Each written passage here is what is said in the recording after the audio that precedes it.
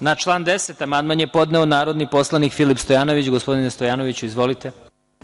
Zahvaljujem, gospodine Marinkoviću.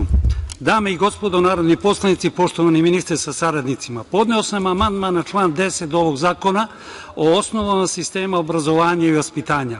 Amandmanom sam tražio da se član 10. ovog zakona definiše na bolji i precizniji način.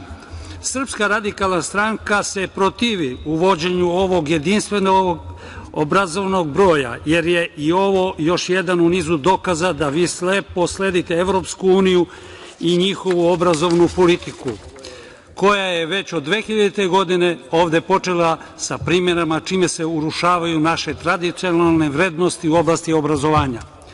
Svaki građanin Srbije, pa i dete koje se rodi po važećem zakonu, dobija jedinstveni matični broj građana, pa za to nije dovoljno za potrebe upisa školovanja, već ovaj neki job koji hoćete da uvedete. Sledeće što može da vam padne na pamet je čipovanje učenika i studenata, odnosno svih građana Srbije.